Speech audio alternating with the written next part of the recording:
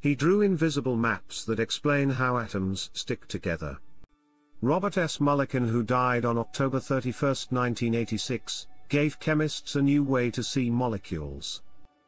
In the mid-20th century Mulliken developed and championed the molecular orbital theory, instead of imagining electron pairs sitting only between two atoms, Mulliken's model treats electrons as occupying orbitals that spread across whole molecules.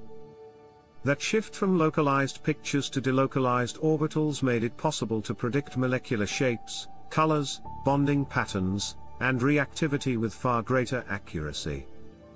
His insights powered quantum chemistry and computational models that today design drugs, materials, and catalysts on screens before a lab ever pours a beaker.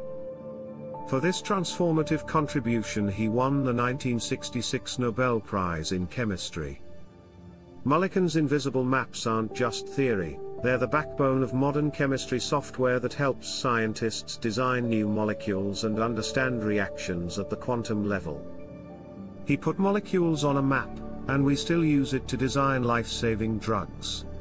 Which invisible map will steer tomorrow's breakthroughs?